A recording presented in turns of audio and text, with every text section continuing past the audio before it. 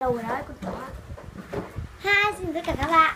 Hôm nay mình sẽ hướng dẫn các bạn cách làm slam uh, Theo yêu cầu của một bạn ở trong một video đã bình luận của mình. Và bây giờ mình xin được phép bắt đầu. Và mình có một cái mẫu. Đây, mình mới làm xong mà nó còn chưa khô lắm điểm thằng kia. Nguyên liệu các bạn cần có đó chính là Rung địch rơ miệng.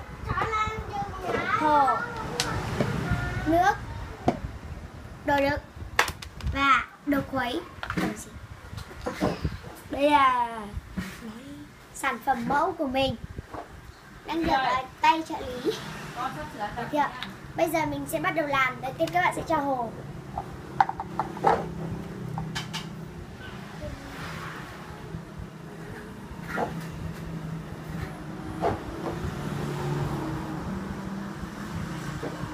Mình đã xong hồ rồi. Bây giờ là nước. Thôi đủ rồi. Tiếp theo các bạn. Sẽ khuấy đều Để hòa tan hồ với nước.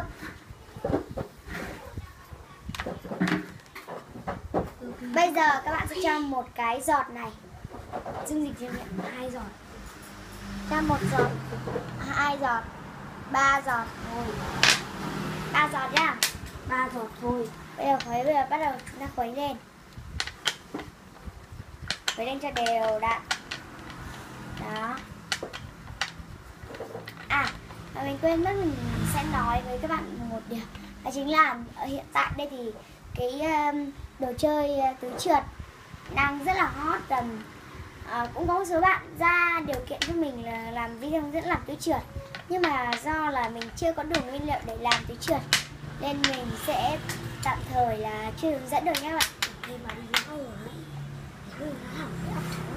bây giờ mình sẽ cho thêm hồ vào. Vì nước hơi nhiều. Trợ lý trợ lý ơi trợ lý. Cảm ơn luôn. Thank you trợ lý. À tôi chạy rồi. Trời ơi, cái hồ này con. Bây giờ mình đã cho thêm hồ vào rồi các bạn. Và các bạn sẽ khuấy đều đi nha cho nó đông đông lại dung dịch gây miệng chạy Dung dịch cho miệng Thank you.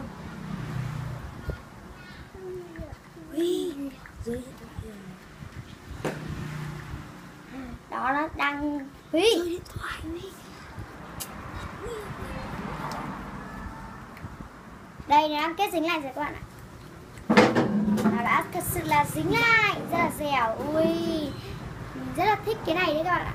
Cái slam này nó rất là dẻo đó. Dẻo, cực kỳ dẻo. Để mình sơ thử. À nó hết dính rồi. Vẫn còn hơi dính một xíu thì phải. Mình sẽ nhấc nó ra ngoài. Không hề dính vào bàn nữa. Nhưng mà nó vẫn còn bị dính ấy. Mình cho thêm một giọt nữa vào. Đó. Các bạn à, xem rất là nghĩ đây đấy không thành công rồi đúng không? Nhưng mà thành công rồi đây các bạn.